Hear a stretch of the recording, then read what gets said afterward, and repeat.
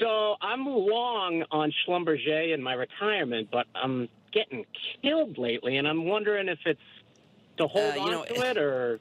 This, you know, Matt, this is such a tough one. SLB is an amazing company. You know, I actually interviewed with SLB in 1983 for a job, and they told me to get the hell out. I didn't know anything, and I, I took that as gospel.